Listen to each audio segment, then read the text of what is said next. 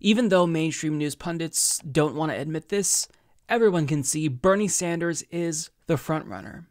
The pundits in mainstream media know it, and certainly the 2020 Democratic Party presidential contenders know it, hence why they have been attacking Bernie Sanders relentlessly as of late. Even though it may make us angry that they're attacking somebody who's fighting for justice, it's a good sign because it shows that we're winning and they have to attack him because they have no choice if they want to win. So we've seen Joe Biden attack Bernie and say that he has never gotten anything done or he doesn't get things done. We see Pete Buttigieg ramping up the attacks on Medicare for All. We even see innocent little Elizabeth Warren going after her friend Bernie Sanders after previously saying, I'm with Bernie. Well, look, things get ugly during the primary process, and the attacks are always going to be directed at the frontrunner. And this upcoming debate is probably going to be pretty brutal for Bernie Sanders because he's gaining a lot of momentum as he continues to rack up these wins. Now, somebody who also decided to go after Bernie Sanders is Mike Bloomberg, who is arguably one of the frontrunners.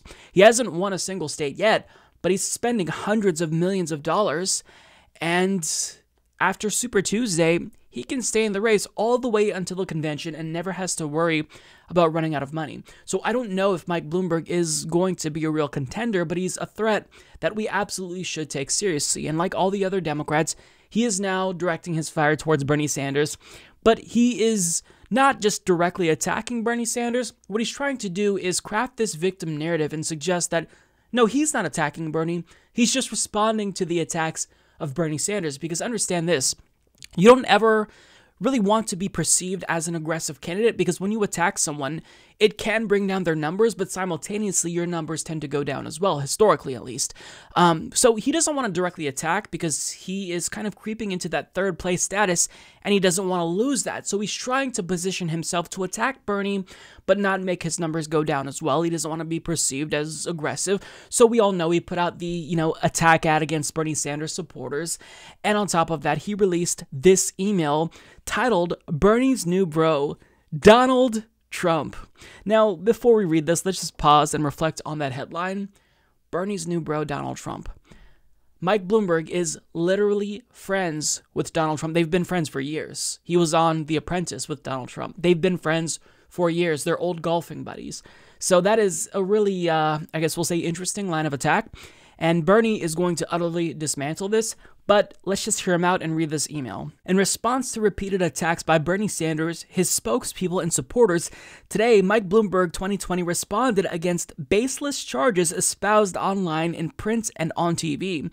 Quote, it's a shameful turn of events to see Bernie Sanders and Donald Trump deploy the very same attacks and tactics against Mike.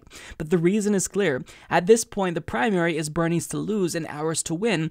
Bernie knows this, Trump knows this. That's why they are united in the campaign against Mike, said Bloomberg 2020 campaign manager Kevin Sheekey. Now we'll get to some of these quote unquote attacks by Bernie Sanders people and supporters, but like he's trying to say that Bernie Sanders and Donald Trump are attacking Mike Bloomberg in the same way. What is Donald Trump doing to attack Mike Bloomberg? He's calling him Mini Mike and making fun of his height. What is Bernie Sanders' team doing to attack Mike Bloomberg? They are correctly stating that he is an oligarch who's trying to buy this election and he's also racist. So, I mean, different tactics here. Nonetheless, he's saying that they're the same, and these are the attacks that he takes issue with. Quote, in the past week, Bernie Sanders' National Press Secretary Briahna Grayjoy, Senior Advisor David Sirota, and National Campaign Co chair Nina Turner have referred to Mike as a racist and an oligarch. Both true. Implied Donald Trump is better than a fellow Democratic candidate for president, and called Bloomberg supporters enablers. All true. So, if you call him a racist, if you call him an oligarch, both accurate claims, objectively true, that's an attack. You can't point out facts against me, otherwise, I will take offense to it. Now, if I'm Mike Bloomberg's team, like, it's indisputable. He is an oligarch. He's also racist. But if I'm Mike Bloomberg, rather than whining about it and crying about these attacks, I'm going to own it. I'm going to say, look, yeah, I'm an oligarch, but guess what? Donald Trump is also an oligarch, and I have basically unlimited money. So if you truly want to beat Donald Trump, you need an oligarch to take on Donald Trump. I will spend billions of my own money to defeat him. So hell yeah, I'm an oligarch. That's what it's going to take to defeat him. Now, that may not resonate with a lot of people, but for Democrats who are absolutely worried about electability, that could get them to come on board. But instead, he's choosing to uh, play this role as I'm the victim and they called me an oligarch. I mean, it's, pathetic. So these are the specific quotes that he takes issue with. This one is from Briahna Greyjoy. If you wouldn't even condone a tweet criticizing a racist authoritarian like Bloomberg, you are a fence-sitting enabler of the worst variety and have no business holding yourself out as a Democrat, much less a progressive. This is in response to audio revealing that he is explicitly racist. And this from Nina Turner. Oligarch of the Month, Michael Bloomberg, and also from Briahna Joy Gray. We have no reason to believe Bloomberg's newfound political commitments. He has demonstrated a willingness to change his stripes with the political winds, and because he's self funded, literally accountable to no one, the danger he presents cannot be overstated. Another one from Briahna Trump will say he has a better record on criminal justice than Bloomberg, and he may be right. Absolutely correct. Uh, this from David Sirota. I'm told Mike Bloomberg isn't an oligarch. He's just a billionaire who buys elections and is a part time resident of a foreign tax haven. Also correct. And finally, from Nina Turner. I may not have a PhD yet, but I do have the good sense of knowing what makes for oligarchy. Anyone caping for a billionaire with a media company able to buy endless ads and influence party rules halfway through is precisely a perpetuator of the corrupt system, i.e., an oligarch. Now, in response to all of these quote unquote attacks, the email reads These attacks are unacceptable. All Democrats should focus on the critical task of choosing a candidate that can compete against Donald Trump and win. In the face of the most consequential election of our lifetimes, it is unfortunate that we are even talking about such slanderous attacks from other Democrats. And we do have some live footage of Mike Bloomberg reacting to all of these vicious attacks. I've cried like that since Titanic.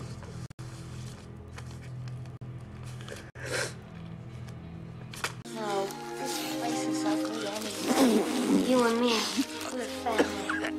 Promise never to drift away. And no one's ever gonna break us apart. After sitting back, I believe that's pretty special. Boy. So, look, these are factual statements. Mike Bloomberg is a racist. Mike Bloomberg is an oligarch. Pointing these out doesn't inherently make them vicious attacks. It just means that they are giving you the blunt truth about Michael Bloomberg. And if you truly want to beat Donald Trump, then running a racist oligarch isn't the best strategy because what you need to do to beat Trump is turn out the base. Make sure that people are excited and galvanized and ready to come out and support someone they believe in. Do you honestly believe that the Democratic Party base is going to be excited about Michael Bloomberg, a former Republican who supported George W. Bush and the Iraq War, who's made recently transphobic and racist comments, who defended stop and frisk? I mean, You've got to be out of your mind to think that this is the individual who can beat Donald Trump. Yes, I get he has money and you need money to beat Donald Trump, but guess what? Hillary outspent him by what, a 2 to 1 margin and still lost. So maybe money isn't everything. Maybe you need a base who believes in the candidate that they're coming out to vote for. Otherwise, they might not vote at all. But I mean, this is strategy. Mike Bloomberg, again, he needs to find some way to defend himself or at least deflect and he wants to attack Bernie Sanders, who is the frontrunner, but he can't do that directly, otherwise, he's going to hurt his own numbers. So he has to cry victim. He has to make it seem as if he isn't attacking, he's not going on the offensive, he's just defending himself and counterpunching. Except he's really showing how clueless he and his well paid staff is. Because look at that headline again. It says Bernie's new bro, Donald Trump. Yeah, about that. So Bernie Sanders responded to that email and he absolutely obliterated Mike Bloomberg. And he did this by not saying anything, by just putting this picture next to that email. and that's all he needs to do. You are going to seriously claim that Bernie and Donald Trump are friends when you have literally been friends with Donald Trump for years? And I mean, to call these attacks by Bernie's team Trumpian, no, you're the Trumpian one because, like Donald Trump, you're self funding your campaign. You're accountable to not a single person. You have no grassroots donors, nobody. And you're friends with Donald Trump. You're a billionaire oligarch like Donald Trump. So it's just, it's a laughable attack. And I don't know who he thinks he can convince here. Maybe, you know, he doesn't think he can convince anyone. Maybe by going after the front runner, strategically speaking, you know, he's making it seem like he's the best positioned to take on Donald Trump because, you know, if Bernie Sanders cares about Mike Bloomberg and Bernie's team is attacking Mike Bloomberg, well, then maybe it's the case that everyone should be worried about him. Maybe even Donald Trump should be worried about him. But we just talked about this. Donald Trump claimed, I'd rather run against Bloomberg than Bernie Sanders because there's no support with Bloomberg there. He's just buying his way into third place. The only people who are supporting Mike Bloomberg are ignorant about the fact that propping him up and supporting him, they are basically cheering on the collapse of democracy. As we devolve into oligarchy, they're okay with it because they think that he can beat Donald Trump. Well, I mean, what are some of the biggest criticisms of Donald Trump? He is racist, he's authoritarian, he's sexist. I mean, everything that you can say about Donald Trump is also true about Mike Bloomberg.